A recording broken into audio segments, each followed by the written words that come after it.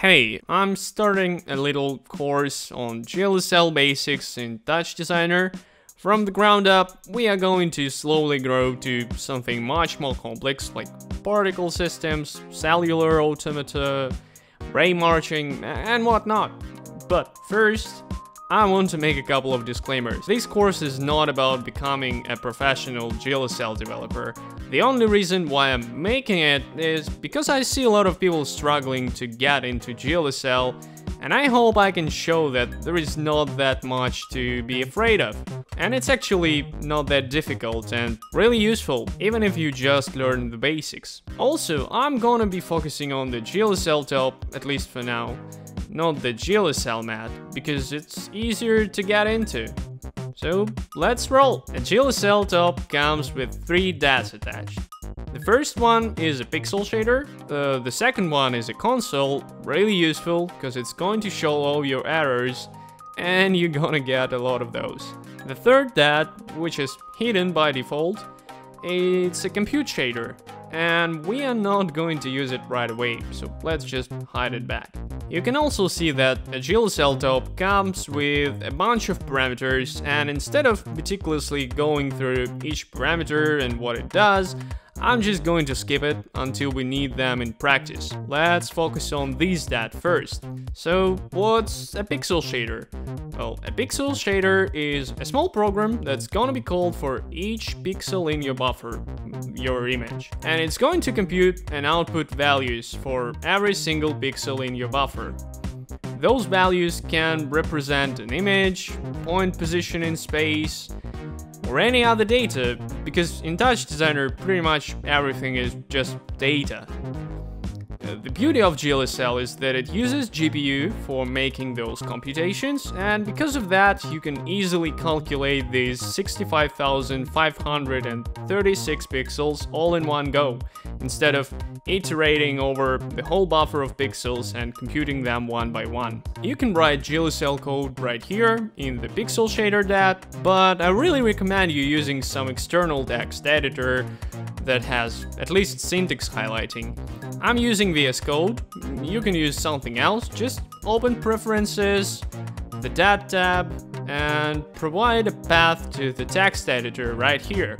Once you've done with that, you can click the edit button and it's going to open the file in your text editor. Here we really have two blocks of code. A frag color variable and the main function.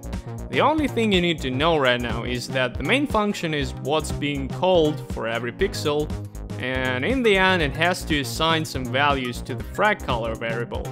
And those values are gonna be the output of your GLSL top and that's indicated by the out keyword. All this shader does right now is making a vec4 variable called color and assigning that to the frag color, which is the output. In order to understand what a vec4 is, we need to talk about data types. GLSL has a bunch of different data types, but most of the time you're really gonna be using a few of those, like an integer, which is specified with the keyword int. Let's make an integer variable called x, and it can be equal to any positive or negative integer value like 1 or 10 or minus 5.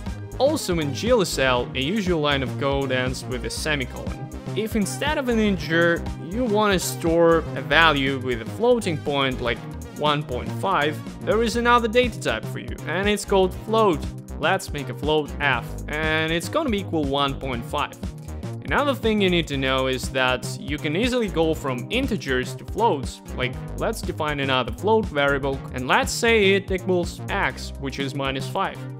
Everything compiles successfully. But if you want to go the other way around and assign a floating point value to an integer variable, it's not going to work. That's because the compiler can't train your mind or decide for you what you want to do with that fractional part of the value. Let's get rid of it for now and focus on another data type, or actually several data types that are vectors. A vector is a data type that holds several values in one place. It's really useful for describing pixel values as RGBA, or positions as x, y, and z coordinates, or actual mathematical vectors and performing all sorts of linear algebra and whatnot. In GLSL, a vector can hold 2, 3 or 4 values, and so you get a vec2, vec3 or vec4. Let's look at our vec4 variable color. When you assign values to a vector, you need to use this vec statement. In this case it's a vec4, because this is also a vec4. So you can specify each of four values individually, or assign them all at once. And once you have a vector, you can access all the individual values using letters. The, the, there are some options. Like here, if you want to subtract a 0.5 from the red channel, you can write color R minus equals 0.5. Here, minus equals is just an equivalent of writing color R equals color R minus 0.5 and you can do that for any other channel. A cool thing is that you can call the same values of the vector as RGBA or STPQ or XYZW and that's just because you sometimes use vectors to store pixel colors, sometimes for positions and sometimes for something else and it's really convenient to be able to call them the way that makes most sense. So what if instead of all four values you just want three? You can use a vec3. Uh, let's call it v. Uh, you can assign three values to it. Let's say 1, 0 and 1. And now you can assign this vec3 to the RGB values of the color variable. So calling three values of the vec4 vector will give you a vec3. With two values you get a vec2 and one results in a float. I promise you get used to it once we progress in this course, unlike with usual programming languages such as, I don't know, Python or C++ or Java, uh, there is no string or character data type, because GPUs aren't really designed to work with text, and also there is no way to actually print out a message to the console for debugging purposes. Just a little thing to be aware of. Now let's try to output different values to the buffer. It works the same way that a constant top works. If all your values equals 1, you get white.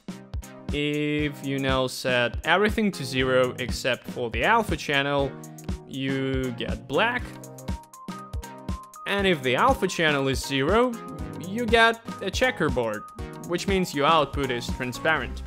Like I've said, everything is data and here we're just using pixels and color to represent this data.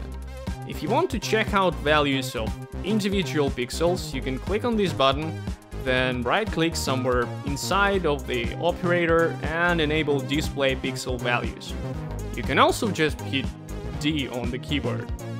So what happens if you set all values in the color variable to 0.1? You get a 0.098. Oh, That's because right now, this GLSL top uses 8-bit fixed pixels, and there is just not enough precision to output that 0.1. Also, if you were to put a negative value like a minus 1, you get all zeros, because 8-bit fixed pixels aren't capable of negative values. That's why most of the time you're gonna work with the GLSL top, you want your pixels to be 32-bit float RGBA. That's it for the first part. If you're not familiar with GLSL, please leave a comment if something wasn't clear. If you already know some GLSL, stay tuned, we're gonna get to more advanced topics pretty soon. And also, I want to thank my patrons on Patreon, because without them, I wouldn't be able to spend that much time on making this course. Yeah, thank you for watching. As usual, I'll see you in the next one.